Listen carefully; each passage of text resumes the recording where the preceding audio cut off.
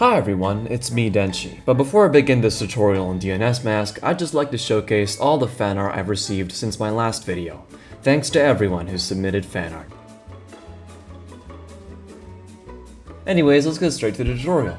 So, as a little introduction to this video, I'm sure many of you are aware, the internet works with a DNS system. So if I have a website like denshi.org and I ping it, as you can see, this gives me back a number over here, which is the IP address of the server which is hosting my website, or specifically that domain. The way this works is by something called DNS records. So there's a program you can get for Linux, it's included in the Bind9 utilities package, and the program is called Dig. We're gonna have a look at Dig a little bit more later when we're testing our DNS server, but Dig lets you type in in any domain name and it returns every single DNS entry for it. So in this case, uh, there's a DNS entry for my website that points to this IP address. And that's all fair enough, right? We know that's how the internet works. That's how you type in the name of a website which is legible. I mean, you can remember denshi.org.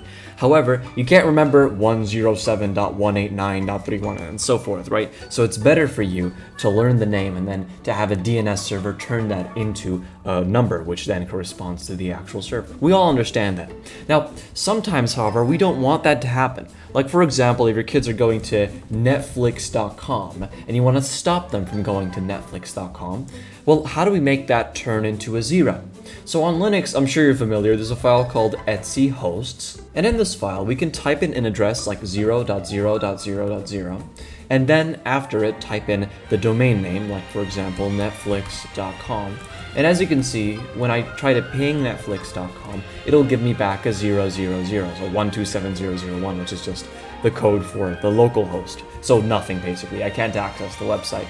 And if I try to open my browser and type in netflix.com, as you can see, it gives nothing. The problem, however, is, is that most domain systems have multiple subdomains that are complicated, and also editing the etc hosts file is reasonable for like your home computer, but it's not reasonable if you have to block a website on an entire network. Let's say you're doing it at home or at school or at work or something, you want to block everybody from accessing a certain website, then what we're going to do today is set up a DNS server for ourselves to use. So you can go to your router settings and change your DNS server. We're going to take a look at how to change it on your computer and stuff later so that any websites you want and any amount of subdomains you want can be blocked. So just clarifying, when I say subdomains, I mean stuff like, I think there's a subdomain like videos.netflix.com or something or there isn't apparently, but uh, I'm sure I think there's vids.netflix.com or I don't know, maybe there's www.netflix.com, right? Yeah, here we are. So as you can see, this isn't blocked. I'm getting back uh, an IP address over here because we haven't added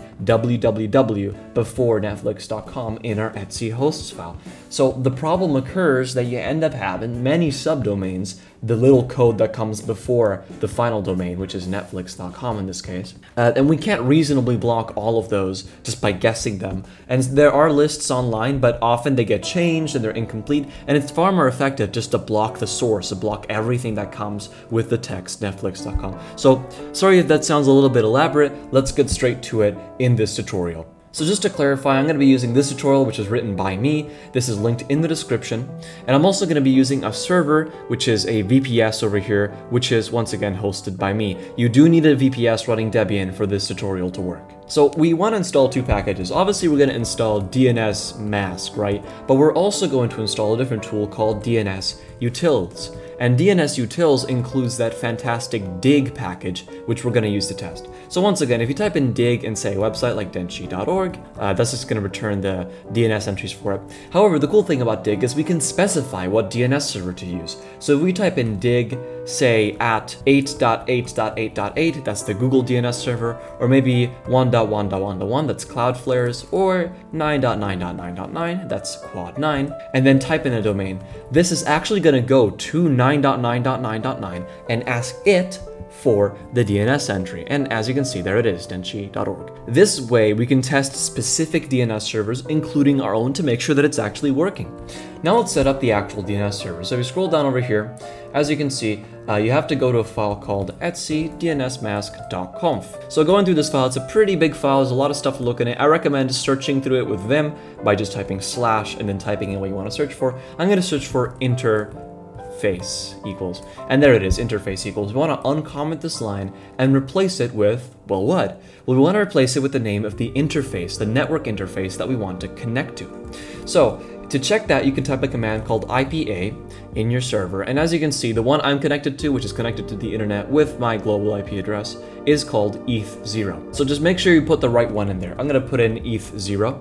So I'm gonna type that in over here, ETH0, and there you go. The next thing you wanna do is look for the option that says domain dash needed. So uncommenting that will make sure that anybody who makes requests to your DNS server, if that ever happens, uh, is basically forced to ask for a proper DNS name with a dot like netflix.com, denshi.org, and not just a random string of text that could cause spam.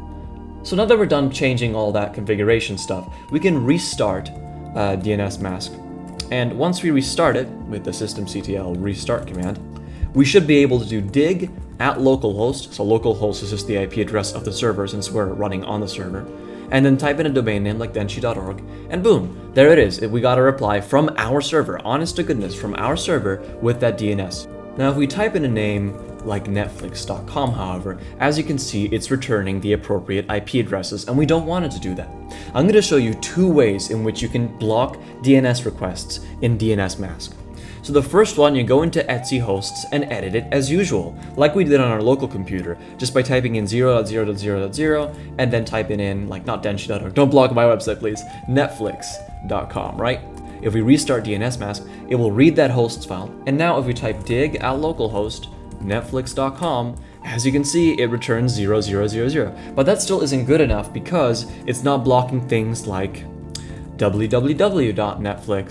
and Netflix is notorious for having lots of different subdomains. As you can see, www.netflix.com is still working, which is not what we want.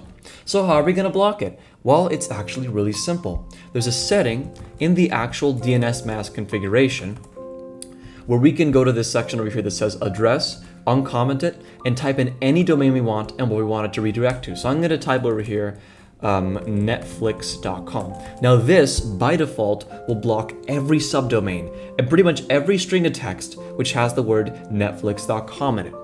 And this will allow us to block everything related to Netflix. So your kids, the maybe your students at school, the people working in your workplace will be unable to access that website and they'll actually be forced to do actual work. So now that we've done that, we can systemctl restart Dnsmasq like before, if I can spell today. Um, and then if we do the dig thing, dig at localhost www.netflix.com, as you can see, it replies with 127001, which is the same as 0000 kind of. In the same way, we can also type literally anything, like any subdomain Netflix could come up with. That's just a random string of numbers, and it will always reply with 127001. So this way, we've blocked every possible request to Netflix, and your kids can stop watching those brain-rotting shows. Anyways, there is one more thing I want to show you guys, and it's actually how to employ Dnsmasq. Well, actually, two more things. The first thing is you're probably wondering, when I do dig at localhost, and type in, say, I don't know, a website like denshi.org, how is this server getting this address? Well, it's simple. It's using its own DNS servers, which are configured uh, in this file called resolv.conf, etcresolv.conf. So if you go here, you can change the DNS servers the actual server is using. So for example, I can type name server uh, 9.9.9.9, and this will use 9.9.9.9 to do any DNS requests. Anyways, now that we're done with that, let me show you how to actually use Dnsmasq on your local computer, or specifically how to access and change any DNS server. So if you're on Windows, this is probably in your um, control panel. You can go to control panel and change your DNS settings. If you're on Mac OS, I think there's something similar. Uh, but on Linux, there's two ways of doing it. First, there's actually a file, like there was on the server, called resolv.conf. And in here, you can change your server. As you can see, it's set to my local one. I can change it to my IP address of my server. So let me just ping my IP address. I think it's um, denshi.org. I'm hosting the DNS server on that same server. It's 107.189.31.10, right? And I can put that in here. And as you can see now, now that I've set that uh, DNS server, I can go and I can ping anything.netflix.com and it replies with 127001 because we were able to successfully set it up. Now there is one more thing you might want to change. So in my case, I use something called Network Manager to manage my network connections. And if you open up your network connections, for example, you can go to IPv4 settings and say automatic DHCP addresses only and set your DNS server here uh, to like 107.38, whatever it was, right? So that's a pretty cool way of, of doing that. However, I normally just keep it on automatic or set it manually uh, by myself with a different DNS server. But anyways, that was how to set up your very own DNS server to block people watching junk on your network or how to control like traffic on your school or in your school or something. I hope you enjoyed this tutorial. The article I showed in the video is linked in the description. I've been Denshi. Goodbye.